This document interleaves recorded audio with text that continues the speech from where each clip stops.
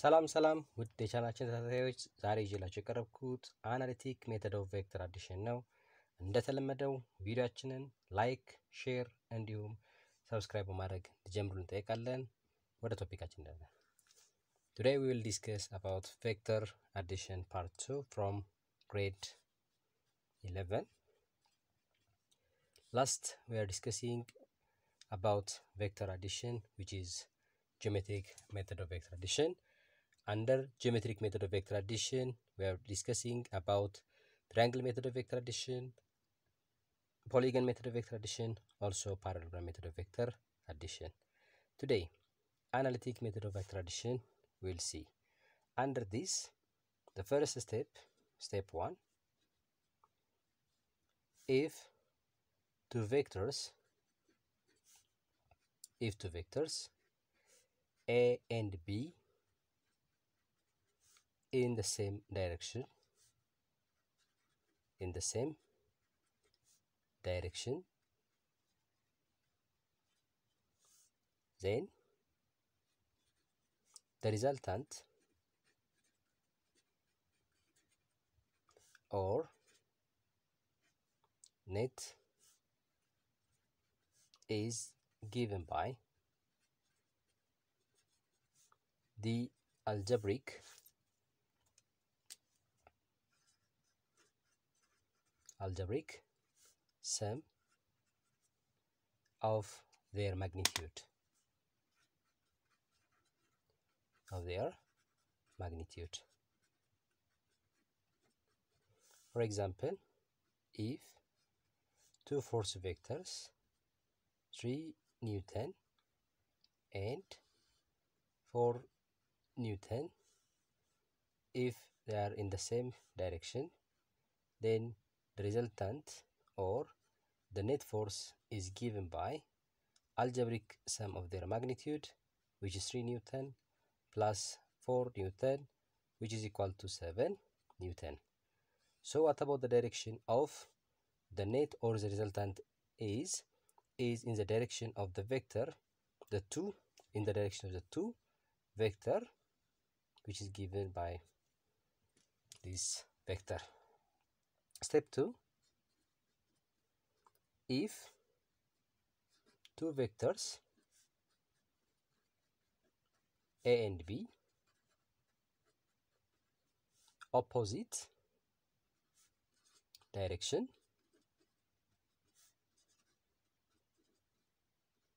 opposite direction then the resultant the resultant is given by algebraic sum of their magnitude. Algebraic difference i mean. Difference of their magnitude.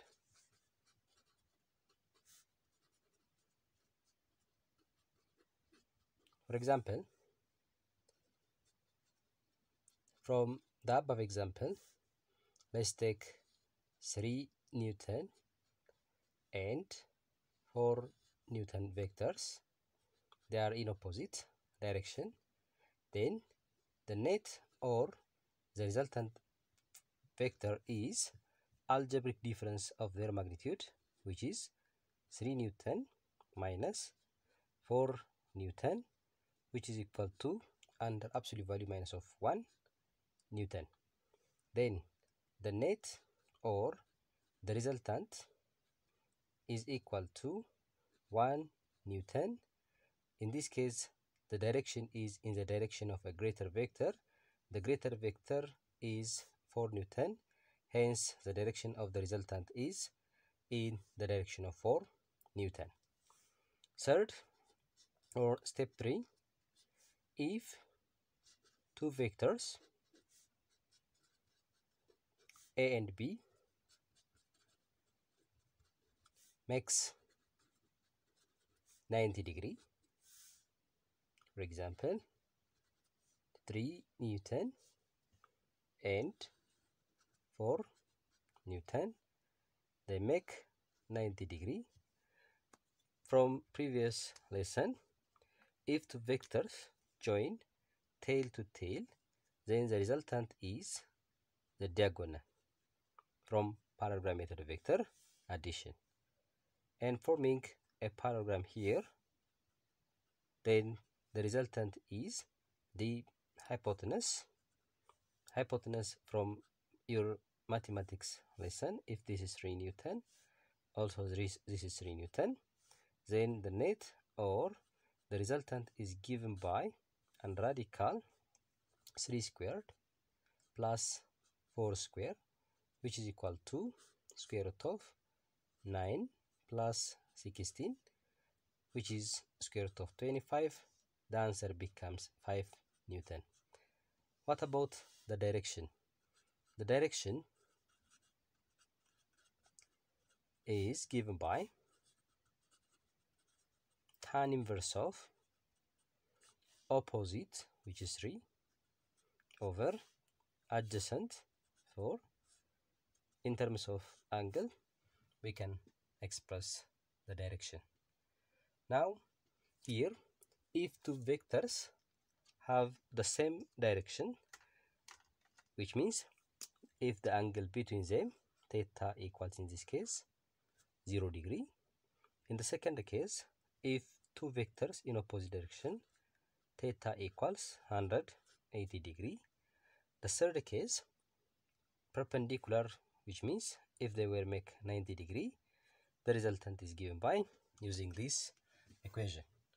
If the, the fourth step 4 if any angle theta between two vectors if the angle between two vectors a and b any angle theta. Any angle theta. Then the net or the resultant is given by the resultant equals under the square root from cosine rule a squared plus b squared plus twice ab cos theta. Or from your mathematics lesson cos theta equals the negative of cos of 180 minus theta.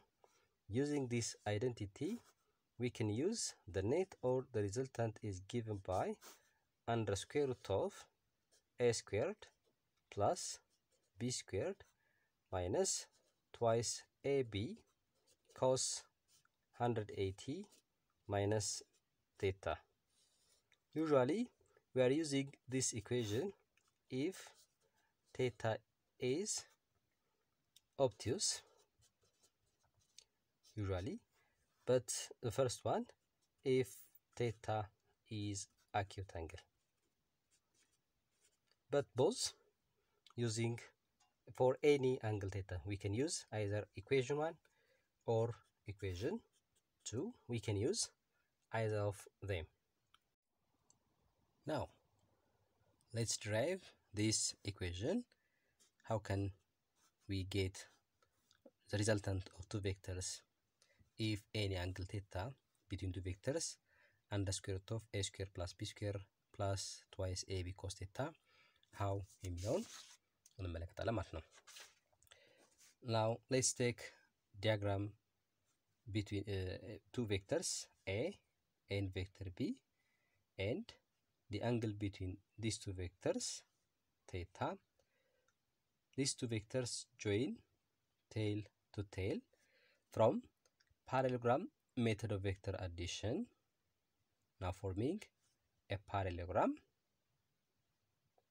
from parallelogram method of vector addition the resultant is the diagonal that start from the joining of the two vector then this becomes a plus b or the resultant vector.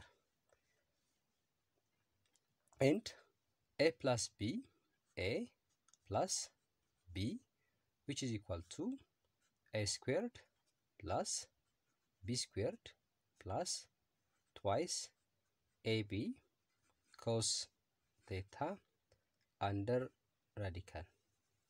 Now let's see how. Consider triangle A, the rect uh, parallelogram A, B, uh, let it be C, D, and from this parallelogram we can determine the resultant a plus b by extending each sides to form a right angle triangle here. If A, B, C, D, this becomes, let it be uh, E, let it be E, and C, E, and B, E are extended sides of the parallelogram. If this angle theta, also this angle theta, because these two sides are parallel sides, now this angle and this angle becomes corresponding angles, corresponding angles. Now this side, let it be, since it is an extension of A, let it be A prime, and this one is BE, the extension of AB, let it be B prime. But we don't know about B prime and A prime, so we should have to express it in terms of a known variable. Now consider triangle BEC, which is smaller right angle triangle, small right angle triangle. A prime becomes the opposite sides of right angle triangle. From your mathematics lesson, this one is hypotenuse, opposite, and this one is the adjacent. If this angle theta, then opposite equals hypotenuse times sine theta, sine of theta, and the adjacent side becomes adjacent equals hypotenuse times cos theta. We have this. Now, A prime in this case becomes the opposite sides of triangle BEC. Therefore, A prime becomes hypotenuse, which is A, times sine theta, and also B prime, which is adjacent sides. The adjacent side becomes hypotenuse, which is A times cos theta. This becomes unknown variables becomes uh, expressed in terms of unknown variable. We know A, we know theta, A and B given. Also theta is given. Unknown የሆኑትን ቫሪያብሎች ዊዝ known variable ኤክስፕረስ ማድረግ ችለናል። ስለዚህ consider consider a larger right angle triangle which is A E C A E C it is it is right angle triangle if it is right angle triangle we can use Pythagoras theorem. And from Pythagoras theorem hypotenuse AC or A plus B A plus B or AC squared. This equals to AE AE squared plus EC EC the whole squared. But AE means AE which means B plus B prime B plus B prime plus the whole squared. EC EC which is equal to A prime and express B prime with a known variable which is A cos theta which is equal to uh, under bracket B plus B prime which means A cos theta A cos theta squared plus A prime which is A sine theta A sine theta the whole squared b plus a cos theta square which means b plus a cos theta b plus a cos theta a cos theta multiplied by a cos theta which is a squared cos squared theta a cos theta times b which is ab cos theta which is plus b times a cos theta again it is ab cos theta b times b which is b squared which is b squared plus ab cos theta ab cos theta twice ab cos theta plus a squared cos squared theta. Now using this b plus a cos theta square which means b squared plus twice ab cos theta plus a squared cos squared theta plus a sin theta square which means a squared sine squared theta. From this now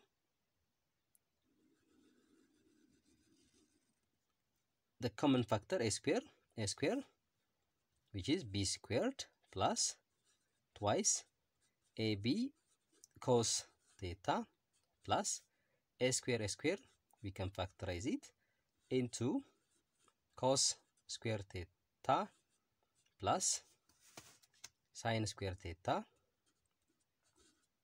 under the bracket. Again, from your mathematics lesson, trigonometric identity, sine square cos square theta, which is equal to 1.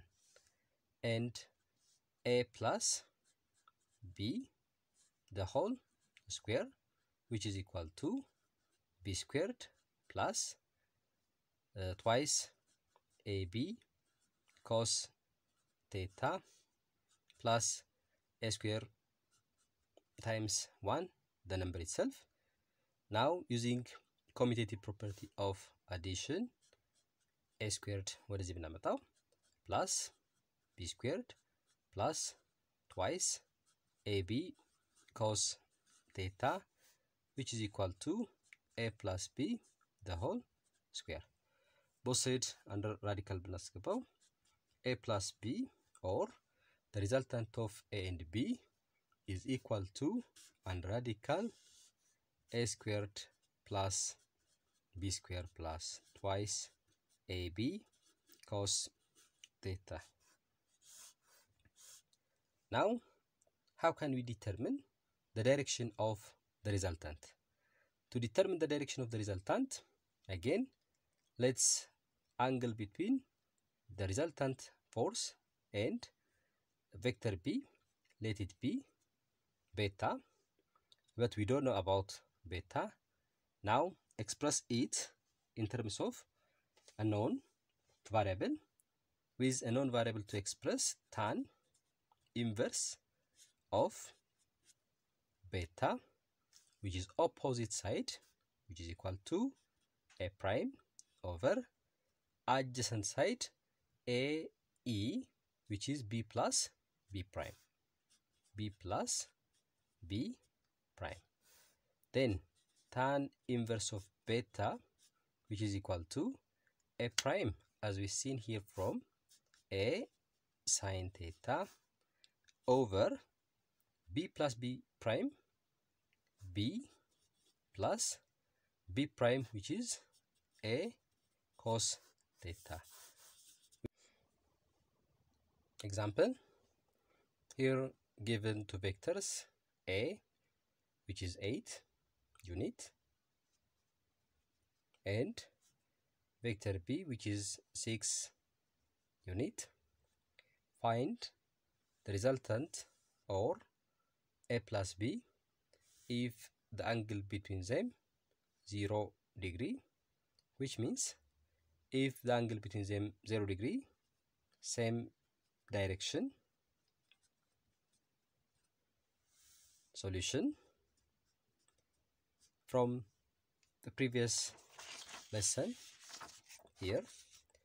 If two vectors a and b in the same direction which means if the angle between them 0 degree then the resultant is given by algebraic sum of their magnitude which is a plus b equals uh, 8 plus 8 unit plus 6 unit which is equal to 14 unit.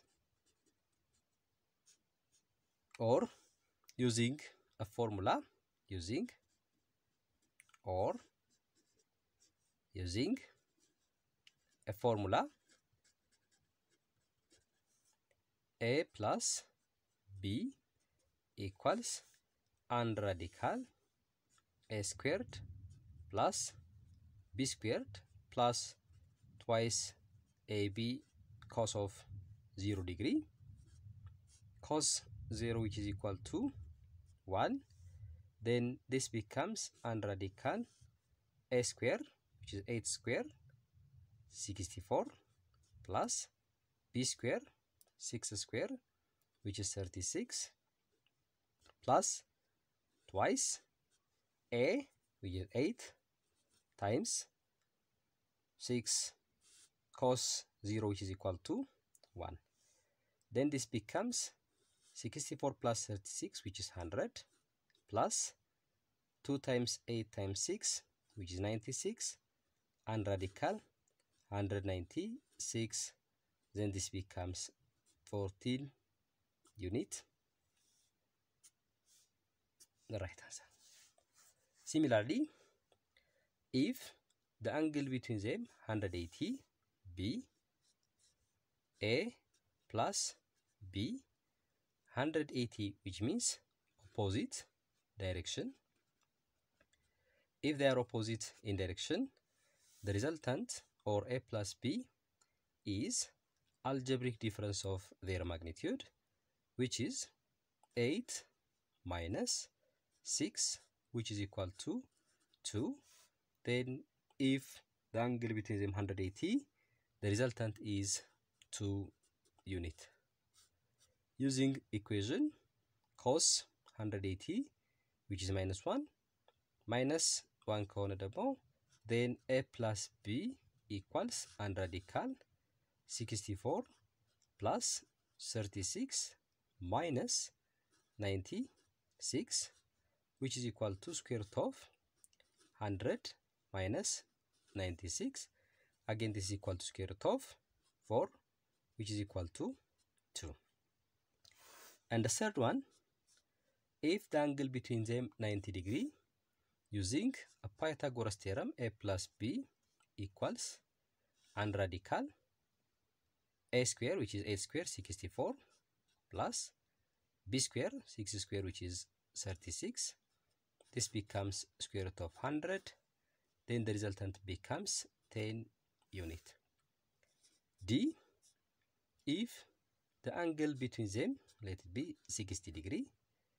Again from a general formula which we are deriving uh, derive using uh, diagrammatically any angle between two vectors any angle theta then the resultant is given by a plus b equals and radical a square which is 8 square 64 plus 6 square 36 minus no plus twice 8 times 6 times cos 60 and cos 60 which is half then this becomes square root of 100 plus half 1 over 2 by 1 over 2 this becomes 48 square root of 148 unit. And the last one e if the angle between them 180 a plus b since it is obtuse angle we can use the second alternative if the, if, if the angle is obtuse we can use the second formula. This becomes under radical 64 plus 36 a squared plus b squared minus twice uh, 8 times 6 times cos of 180 minus the angle 120 120 if we don't know uh, angle uh, the cos of 120 we can use this formula. Then this becomes square root of 100 minus cos 180 minus 120 which is 60 cos 60 which is half 1 over 2 by 2 then 2 by 2 8 times 6 48 this is equal to square root of 52 now from this activity we understand that not not the possible the possible resultant of two vectors is between the maximum maximum if the direction the same direction and the minimum minimum which is opposite to Newton then the possible resultant of these two vector is between the maximum and the minimum